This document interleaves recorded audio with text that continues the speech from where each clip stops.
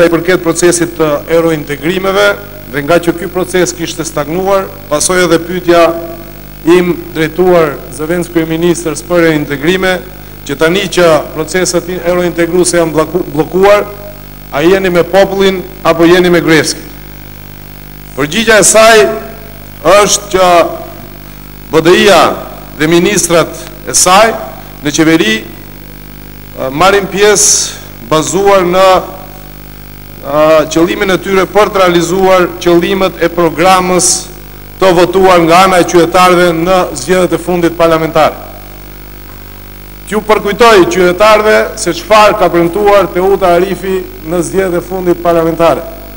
Qytetarëve u premtoi që do ta marrin Ministrinë e Punëve të Brendshme, qytetarëve u premtoi që do ta marrin një nga drejtoritë e zbulim-kundërzbulimit, qytetarëve u premtoi se do të marrin Ministrinë e Financave dhe shumë për premtime të tjera, u premtoi që do ta marrin edhe kryetarin e parlamentit dhe asnjë nga këto nuk ndodhi. Nga ana tjetër, qytetarëve u premtoi Bashkimi Demokratik për Integrim, ashtu siç u premton vazhdimisht që do ta zgjedh çështjen e luftëtarëve të UÇK-së.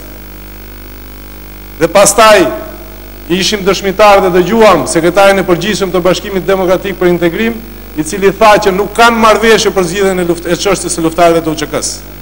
Atëherë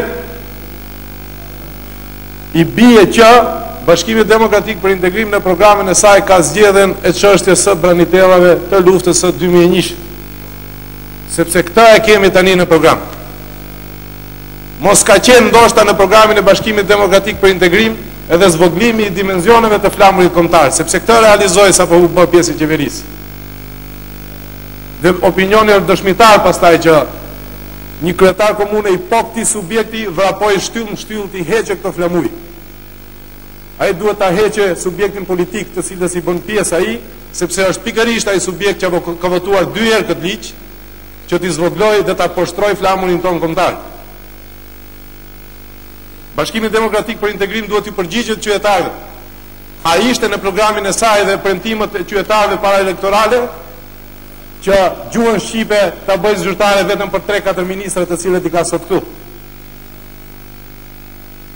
Dhe nga ana tjetër pastaj të thirret se gjoja mandatin tjetër, mandatin tjetër. Sa mandate i duhen Bashkimit Demokratik për Integrim ta rregullon dhe ta bëjë zyrtare gjuhën shqipe ashtu si siç i ka hije. Siç duket, këto mandatet e juja duhet të jenë të pafund, po nuk do të jetë kështu, sepse tanimë qytetarët e shohin mirë se me cilin kanë bëjnë kanë punë. Faleminderit. S'kam pyetje tjetër.